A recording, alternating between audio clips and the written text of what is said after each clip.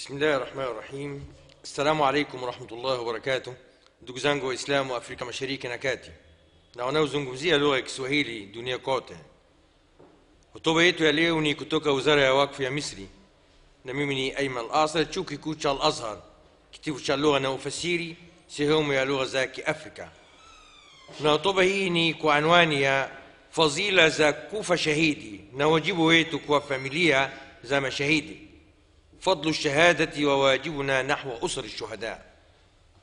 Se v Zotin džema ni zekam ni zumungu tukufu, mora bi umbi vjote, a ne sema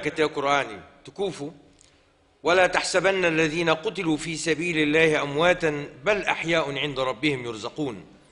فرحين بما آتاهم الله من فضله ويستبشرون بالذين لم يلحقوا بهم من خلفهم. ألا خوف عليهم ولا هم يحزنون؟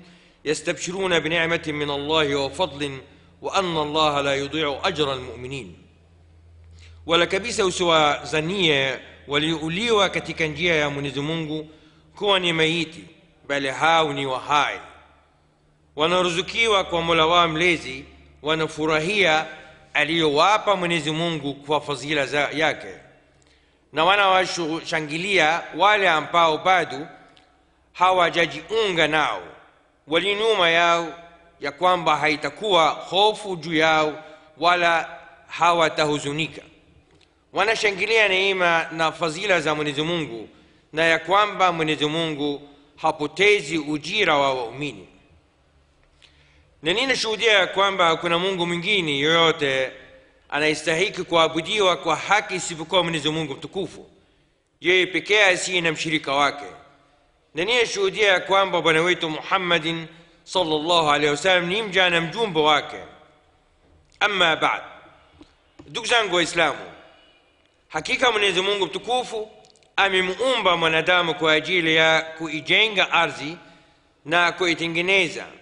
Na mwenyezi mungu mtukufu na msema kweli akamhifadhia mwanadamu yale yanayomsaidia ujenzi huu na akaizungushia nafsi ya mwanadamu ambayo ndiyo njia ya kumkalifisha akaizungushia uzio wa ulinzi uzio ambao umemfanya adui yoyote dhidi yake au uharibifu wowote ardhini ukawa ni sawa na uadui kwa watu wote.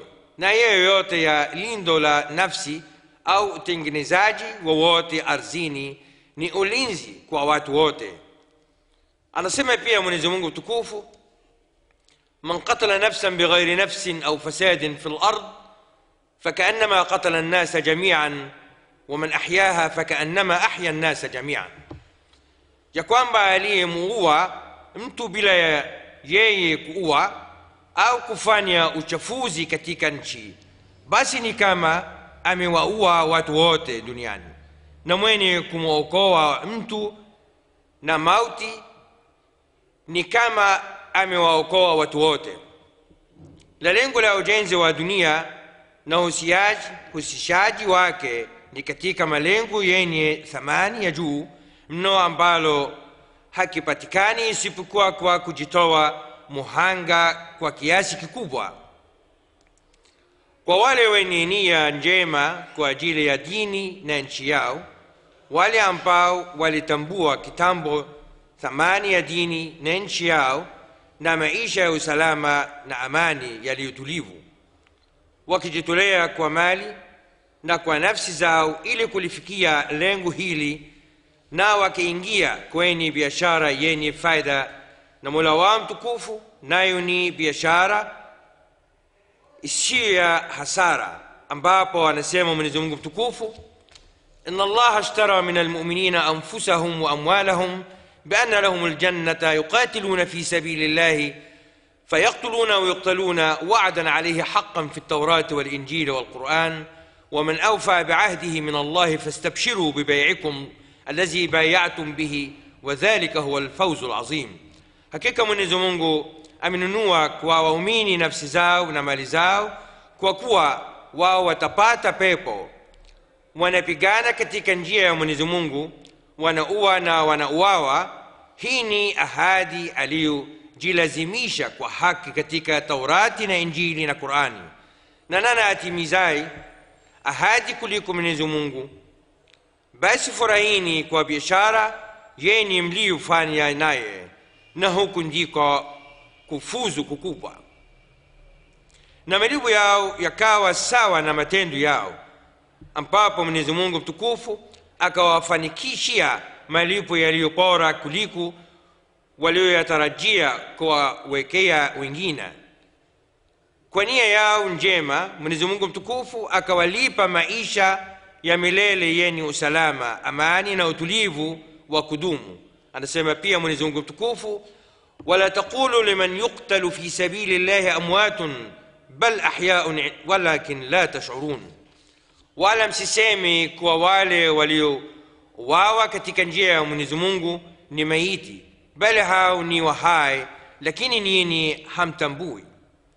Na kufa shahidi katika njia ya mwenyezi mungu mtukufu ni nafasi miongoni mwa nafasi za juu na ni lengo miongoni mwa malengo ambayo hayapatikani isipokuwa kwa wateule aliyowachagua mwenyezi mungu mtukufu katika waja wake anasema pia mwenyezi mungu wayattakhidha minkum shuhada na awateue miongoni mwenu mashahidi. Hakika hili ni tuzo kutoka kwa mwenyezi mungu mtukufu kuelekea kwa vipenzi vyake katika viumbe vyake wake baada ya mitume na wakweli kama anavyosema mwenyezi mungu mtukufu waman yutii llaha warasula faulaika مع الذين أنعم الله عليهم من النبيين والصديقين والشهداء والصالحين وحسن أولئك رفيقا. نوين يكم تي من يزمون نمتوما هاوا وقموجا نوالي وليو ونيميشا من يزمون من قون ما منبي نما صديقي نما شهيدي نواتويما نأزوري وليوجي كوا قموجا نواتو هاو فيلفيلي من يزمون تكوفو anawaokoa kutokana na fitina kaburini na ukele wa siku ya malipo. Na mtu mmoja alimuuliza mtume sala aa salam akasema ewe mtume wa mwenyezi mungu mtukufu ni ipi hali ya waumini wanafitishwa katika makuburi yao isipokuwa shahidi?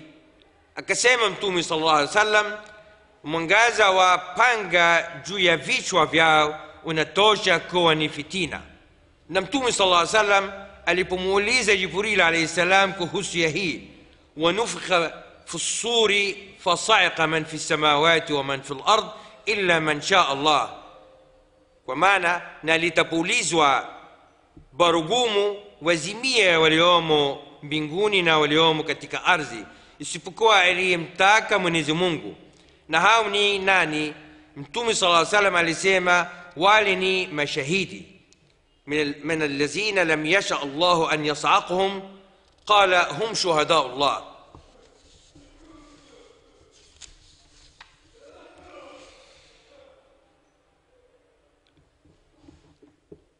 hal jazau lihsani illa lihsan hii ni kauli ya mwenyezi mungu ati yaweza kuwa malipo ya ihsani illa ihsani na hii ni kauli ya yangu أقول قولي هذا وأستغفر الله لي ولكم. نا كتيك أوتوبة يا يبيلي كنا زنقوم زجو يا صفة زما شهيدي صفة زوت نجيما نزاك من زمونق بتكوفو وابي أم ببيوتا نا نينا شهودية كوان با كنا مونقو مجينة يويوتا نا يستهيكي كوا بديوا كوا هاكي سبكوا من زمونق بتكوفو يوي بكي أسينا شريكا واكي نا نينا شهودية كوان بابنويتو محمد صلى الله عليه وسلم ndugu zangu waislamu hakika katika wajibu wetu ni kuwaandalia maisha mazuri yenye usalama na utulivu kwani wazazi wao wamekufa mashahidi kwa ajili ya kutoandalia sisi maisha haya tuliyoyanayo na mtume sala salam amemuhakikishia mtu yeyote anayepepa jukumu la kuzilea familia za mashahidi na watoto wao amewahakikishia thawabu na malipo mazuri. Ambapo anasema mtume saa salam mtu yeyote atakayemwandalia mpinganaji mahitaji yake ya kivita basi na yeye atakuwa amepigana vita. Jambo hilo ni kwa ajili ya watoto na familia ya watu wa shahidi kwa njia katika njia ya mwenyezi mungu. Na atakaye acha vita kwa ajili ya heri ya familia yake basi atazizingatiwa. Na yeye ni mpinganaji na atalipwa malipo ya mpinganaji vita. Kutoka kwa zaid bin aslam kutoka kwa baba yake anasema nilitoka na umar radiallahu anhu tukaenda gulioni na mwanamke mmoja mdogo kiumri akamfuata umar na akasema ewe amiri wa waumini mume wangu ameangamia na ameacha watoto wadogo. Ninaapa kwa mwenyezi mungu mtukufu watoto hao hawajui kupika wala kujitafutia riziki na wala hawana shamba na ninachelewa wasije wakafa kwa njaa kutokana na kutokuwa na chakula na mimi ni bintie khufafi bin limali ljafari na baba yangu amekufa shahidi katika vita vya hudaiba alipokuwa na mtume sala llaw salam umar radiallahu anhu akisimama naye kwa muda. Na hakukaa sana akasema ninaikaribisha nasaha hii ya karibu.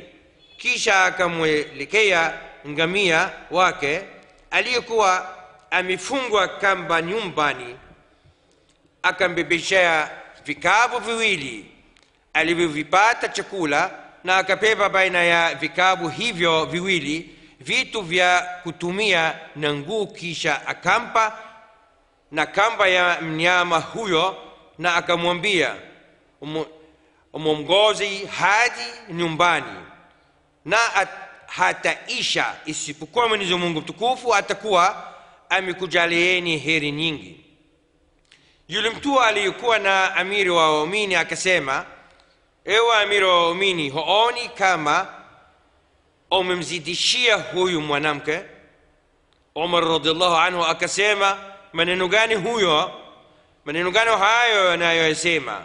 ninaapa kwa mwenyezi mungu mtukufu hakika mimi ninamwona baba yake huyu na nduguye wameizingira ngome kwa muda kisha wakaivamia kisha sisi tukawa tunagombea walichokivuna ndani ya ngome hiyo. Katika tukio hili tunamwona umar radiallahu anhu amir lmuminin akitubainisha yanayotulazimwa kwa mashahidi wetu kama vile kuyatambua mazuri yao na mema walioyafanya. Na anatubainisha vilevile wajibu wetu kwa familia zao ambapo ambalo linaweza kutafsiriwa katika zama zetu kama mchango muhimu wa kila mtu na hata taasisi wa kuwalea watoto wao. Kwa maana kamili ya kuwalea kwa kuwarizia wao na kwa kutambua mazuri yao na miongoni mwao hayo ni kuwaandaa vizuri watoto wao na kuwaweka wenye wale wenye uwezo katika nafasi zao wanazozistahiki. Na sisi tuna kigezo kizuri ambacho ni mtume sala llah alih wa sallam kwani yeye alikuwa anatoa ahadi kwa familia za mashahidi kuzilea na kuzilinda. Na alikuwa anawaandaa watoto wao kwa maandalizi yaliyo bora zaidi. Na mfano wake ni jinsi mtume sala salam alivyokuwa na bwana wetu usama bin zaidin kwani baba yake ambaye ni zaid ibn harisa radiallahu anhu alikufa shahidi katika vita vya muta na mtume sala salam akaahadi na akaahidi kumlea usama na kumsomesha mpaka akaja kuwa kiongozi wa kijeshi mwenye umar umri mdogo katika historia yote alikuwa bado hajafikisha miaka ishirini. Ambapo mtume sala salam alimpa uongozi wa jeshi ambalo lilikuwa na masahaba wakubwa. Na mtume sala salam alisema mkiupinga uongozi wake wa jeshi basi mtakuwa imeupinga uongozi wa baba yake. Aliyeongoza hapo kabla yake ninaapa kwa mwenyezi mungu mtukufu hakika yeye alikuwa kiongozi ingawa alikuwa kipenzi changu na hakika huyu ni miongoni mwa vipenzi vyangu baada ya baba yake. Na tunazipa habari njema familia zote za mashahidi na watoto wao pia. Kuwa wako katika ulinzi wa mwenyezi mungu mtukufu na ulezi wake anajalia kutegemea kwa wazazi iwe faida kwa watoto wao duniani na akhira mwenyezi mungu mtukufu aliwawekea vijana wawili mayatima aliwawekea waja wake wawili ambao ni mtume musa alaihi salam na khidri alaihi salam ili wawahifadhie vijana hao mali na hazina yao kama heshima kwa wazazi wao wema ambapo anasema mwenyezi mungu mtukufu واما الجدار فكان لغلامين يتيمين في المدينة وكان تحته كنز لهما وكان أبوهما صالحا فأراد ربك أن يبلغ أشدهما ويستخرج كنزهما رحمة من ربك وما فعلته عن أمري. نعم أكوتا هو ولكوا ني وفيجانفي وويلي ما يتيما كل مجيني na chini yake lilikuwa khazina yao na baba yao alikuwa ni mtu mwema basi mola wako mlezi alitaka wafikishi utu mzima na wajilee hazina yao wenyewe kuwa ni rehema itokayo kwa mola wako mlezi wala mimi sikutenda hayo kwa amri yangu ama kwa upande wa akhera mola wao mlezi atawapelekea wazazi wao kama ni njia ya kuwaazimisha hata kama matendo yao yatakuwa machache anasema mwenyezi mungu walazina amanu wattabaathum zuriyatuhum biimanin alhaqna bihim zuriyatahum wama alnahum min amalihim min shay'in kullu mriin bima kasaba rahin na walioamini na zuria zao wakawafuata kwa imani tutawakutanisha nao zuria zao na wala hatutawapunja hata kidogo katika vitendo vyao kila mtu lazima apate alichokichuma. Na sisi tunapaswa kujua kwa uyakinifu ya kwamba kujitokea watu na kufa shahidi taji kwenye kichwa cha taifa letu na katika paji la kila mwananchi mwenye nia njema na nchi yake. Na kwamba utekelezaji wa kazi hizi za kuzitoa mchango mchanga kumhitaji kila mtu wetu awe pega kwa pega katika nyanja zake. Na atumie nguvu zake kiasi awezacho katika kuitumikia nchi tukufu. Na tusimame sote pega kwa bega kwa moyo mmoja nyuma ya jeshi letu la ulinzi na la usalama pamoja na nyuma ya taasisi zote za nchi yetu. Huku tukiwa na uhakika kwamba taasisi zetu zote za taifa ziko imara kwa ajili ya usalama wa jamii na kwamba sisi sote tunapaswa kupambana na walinganiaji wa fitina na machafuko miongoni mwa makundi yenye siasa kali na ya kigaidi ambayo hayaamini taifa wala utaifa bali wanatanguliza maslaha yao binafsi dhidi ya maslahi ya nchi. Makundi kama haya ni hatari inayoinyemelea dini na nchi ya kupambana nao na kuzipefyeka fikra zao za kigaidi na wajibu wa kidini kinichi na kibinadamu. Ndugu zangu waislamu tunamwomba mwenyezi mungu mtukufu awape mashahidi wetu rehma na bana zaidi na alindi na shari nchi yetu bendwa na iliyo tukufu majeshi yetu ya usalama na ulinzi wa nchi na wananchi wote. Na dua yetu ya mwisho ني الحمد لله رب العالمين والسلام عليكم ورحمة الله وبركاته.